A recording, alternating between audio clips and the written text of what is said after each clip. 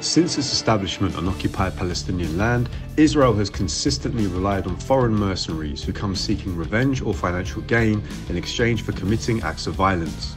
While human rights organizations actively oppose the use of mercenaries for killing on behalf of those who pay them, Jewish organizations in Europe and elsewhere work to persuade civilians to join the Israeli army, placing them on the front lines in the conflict against the Palestinians. Israel has relied on mercenaries since the early days of its establishment on Palestinian soil.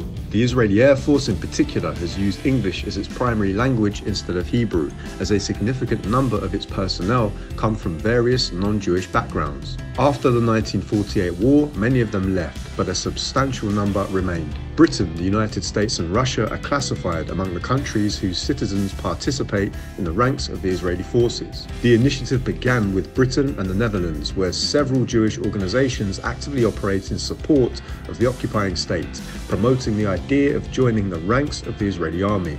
Tel Aviv has actively worked to establish numerous programs in collaboration with organizations recruiting volunteers for its benefit.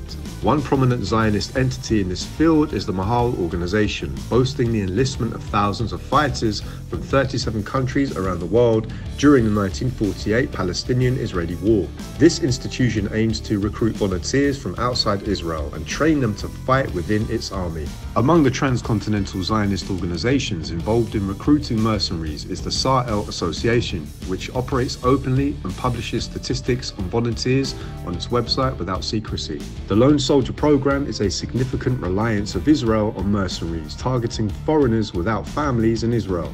While it is preferred for the soldier to be Jewish, it is not a strict requirement as acceptance into the occupying army suffices. This category of soldiers enjoys attractive salaries compared to regular soldiers and undergoes intensive military training. According to a report by the Israeli newspaper Haaretz, the army provides benefits and high wages to lone soldier category and allows them to engage in private work.